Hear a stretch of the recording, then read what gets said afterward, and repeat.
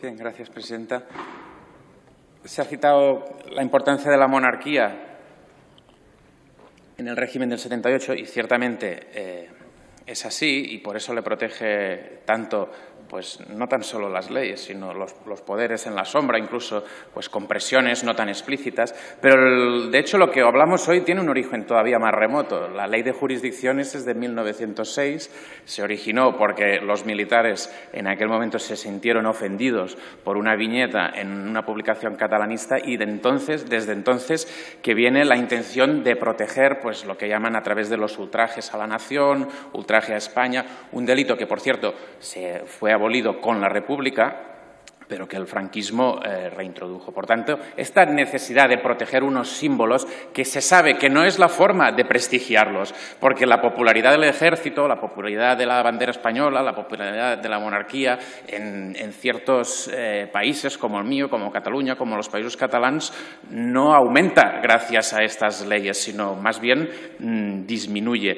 Entonces, eh, habría que pensar por qué estas leyes que son de casi, casi de, como que se ha dicho, persecución de la disidencia. La de Baltonic fue quizá la última vez que se aplicó y debería volver eh, del exilio, puesto que este delito no debería de existir. Además, el Estado español, como se ha citado, ya ha recibido dos bofetones del Tribunal Europeo de Derechos Humanos al respecto.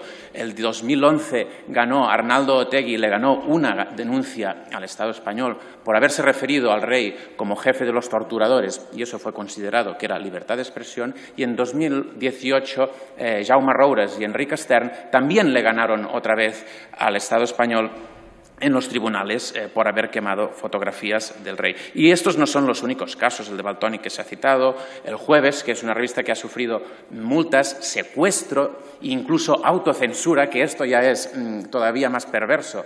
La portada del día en que había la abdicación de Juan Carlos en Felipe no llegó a salir y provocó pues, el consecuente revuelo en la revista con eh, dimisiones de, de, distintos periodistas.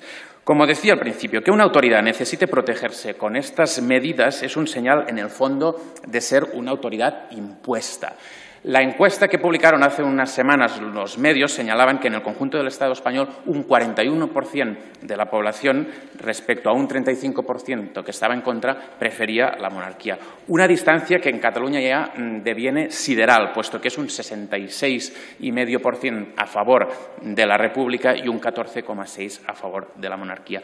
Por cierto, que se trata de una encuesta que hicieron distintos medios, puesto que la monarquía no solo la protege el delito de injurias a la corona, sino que también la protege el CIS, porque no pregunta a la gente qué opinión le merecen. En definitiva, tienen la oportunidad de hacer gracias, desaparecer señor Botrán. las injurias Se ha terminado su tiempo. a la corona y los ultrajes a España antes